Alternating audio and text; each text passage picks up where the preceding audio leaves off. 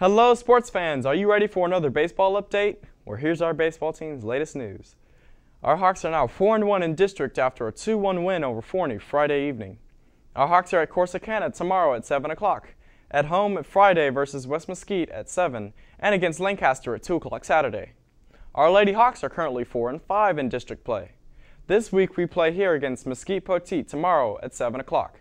We play at Waxahachie Stadium Friday at 7 o'clock also. That's all for now, sports fans. I'm Austin Smith reporting for Hawkeye News, and you've just been updated.